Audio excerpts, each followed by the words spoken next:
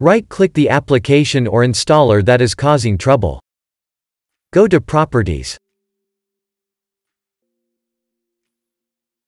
Go to Compatibility.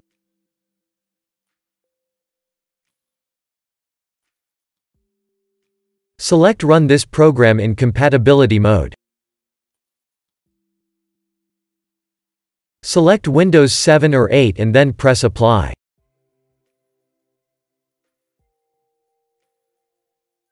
Now run your program.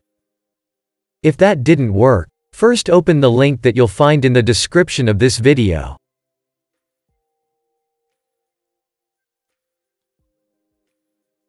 Click on Download Windows ADK. Download the latest version of Windows ADK for Windows 10. If you have Windows 7 or 8 you can download their own version below. Save the file.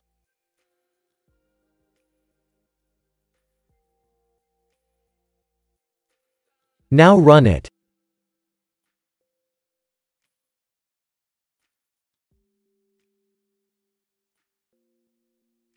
Press Next.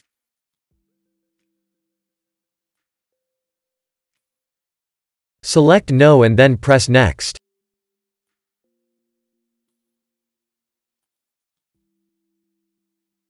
Accept the terms.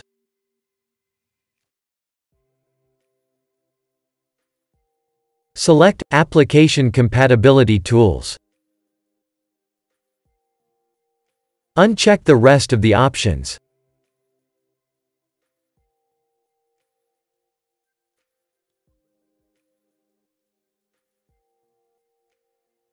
Press Install. Press Yes. Wait for the program to be installed.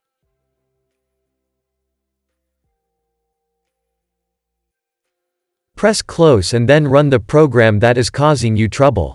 If that didn't work, First open Start and type Compatibility Administrator.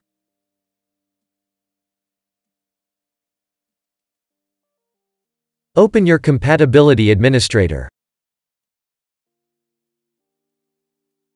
Press Yes. Expand Applications.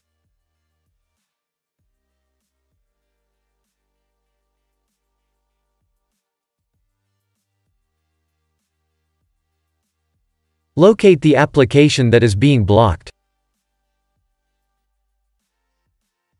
Let's say Far Cry 5 is being blocked. Click on Far Cry 5.